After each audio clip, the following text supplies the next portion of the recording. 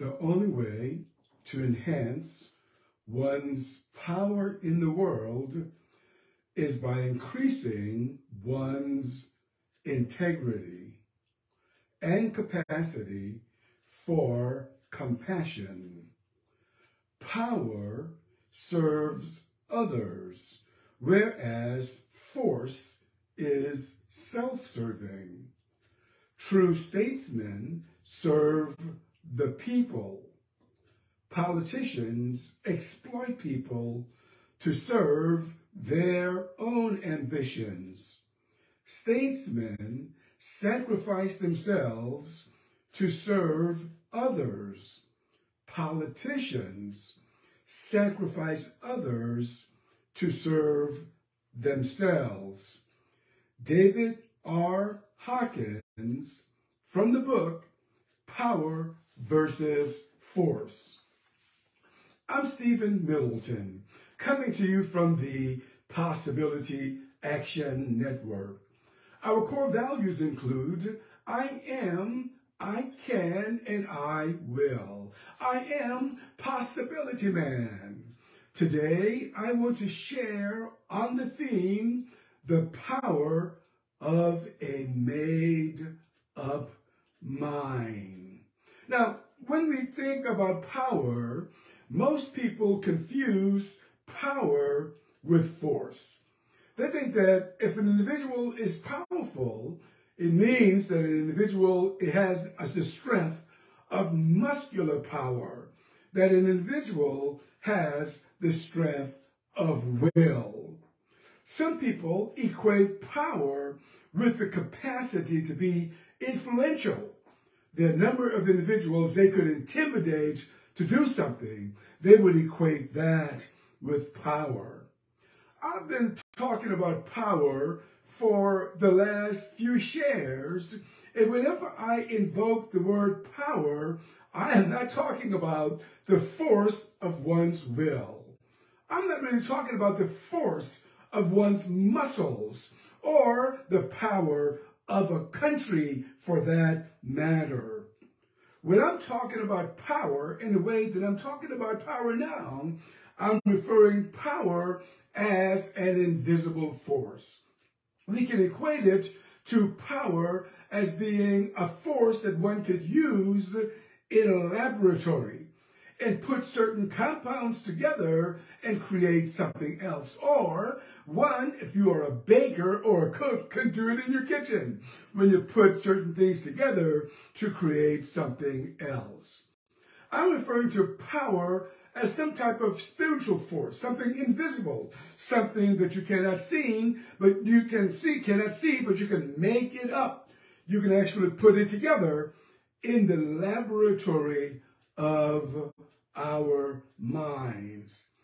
Everyone mixes what they want in the mind.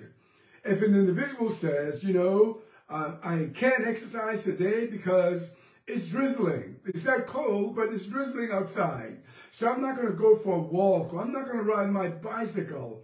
That's a mind made up power.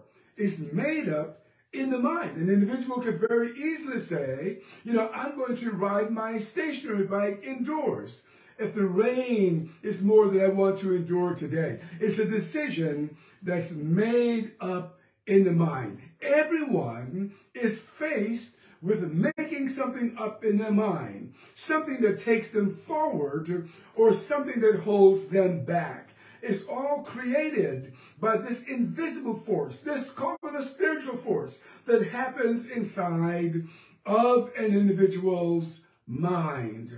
It's impossible to go through life without making up stuff in your mind. It's just the way of it. It's just the way that it is. For example, if an individual then enrolls in college, you know, let's say in the fall, it would take four years for them to complete a college education. Whether they graduate or not depends on whether they made it up in their minds that they would stay in school, that they would graduate, and that they would earn their, their degrees. And you can apply that to everything else in life. If you decide, for example, that you're going to run for political office and it doesn't matter whether you win or not, the, the decision to do so has to be made up in your mind. If you decide to start a business, the decision to start it or not start one is all made up in the mind. If you're going to invent something, if you're going to start, you know, a, a new movement routine, it's all made up in the mind. You know, I had the experience this morning. I got on my bike around 7 o'clock this morning and pedaling away. The first thing I had to do, though, is to realize that I had made a decision in my mind that I was going to exercise. I didn't make the decision up this morning. I made the decision up a long time ago that I would move my body. And I was pedaling away on my bike. You know, after about 30 minutes, I had the thought, well, you've done enough. Why don't you get off your bike? I heard that suggestion, but I had made up my mind that I was going to ride for at least 50 minutes this morning. It's all made up in the mind. And that's the power that I want to remind you of today. Whether you have or whether you have not is based upon a decision that's made up in the mind. When you make up a decision in the mind, you are unleashing a spiritual force that allows you to say that I will or I won't. It's all made up in the mind. Exercise is one of the things that I've made up in my mind. And you may say, well, Middleton, you know, you're a big, strong guy. You know, what's the big deal about exercising? Well, you know, there's some other issues here that I'm not going to get into right now about exercising, about me exercising. I can come up with a lot of reasons, and a lot of folks would support me in those reasons as well. I made up in my mind. I had been doing research on a on a, on a topic that I wanted to write another book about uh, this particular individual, and I have made up in my mind something about that subject. That is, I'm going to write something about this subject every day. That's a decision that I made up in my mind. My question to you then is simply this. What have you made up in your mind about what you want? Have you made up your mind that you're, you know, you're my age and you've decided, okay, I'm going to sit in my rocker until the grim reaper comes? Well, that's okay. That's fine too. We can make that decision up in our minds. Someone may say, you know something, I want to earn more money because I want to be able to take my grandchildren on vacations. I want to take them to Disney World. And I don't want to have to worry about well, how I can pay my bills next month. That's something that you can make up in your mind. You know, if you want to start a business online, the question is, okay, how many people are you going to talk to a day? And I'm talking to myself as well because I do business online. You, you, you may have to say, well, I'm going to reach out to five people a day, whatever the number is for you, 10 people, whatever the number is for you. It's a decision that you can make up in your mind. And I am here to tell you that there is power in a made up mind. It's just like going into a laboratory and putting some compounds together and something else comes out of it. Everything that you see in our world, just take a look, go anywhere.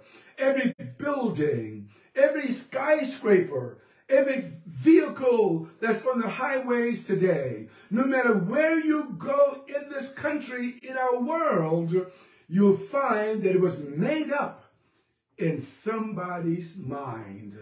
And if you make it up in your mind, that's power. And the power, once again, is not force, it's a spiritual power.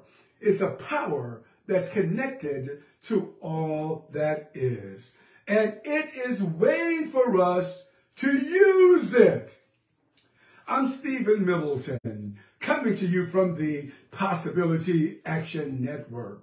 Our core values include I am, I can, and I will. I am possibility man. Until next time, good day